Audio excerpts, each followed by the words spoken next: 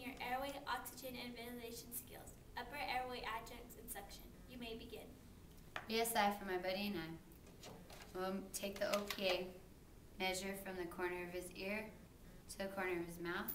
It's a correct size. Open his airway, insert it in upside down until it's past his soft palate. Turn 180 degrees and insert it in. Your patient is gagging and becoming conscious. Pull it straight out to remove it.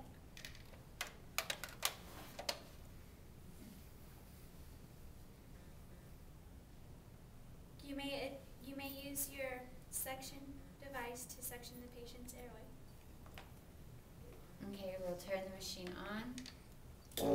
Check for suction.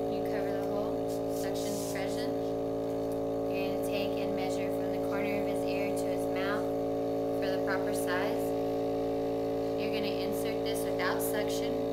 To begin suction, cover the hole and suction in a circular motion coming out.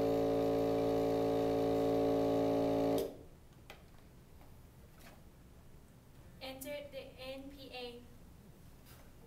Okay, take the NPA, measure from the corner of his ear to his nose for the proper size, and this one's right. You're gonna lubricate it.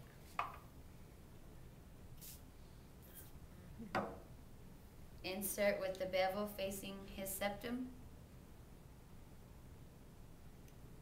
And it's inserted.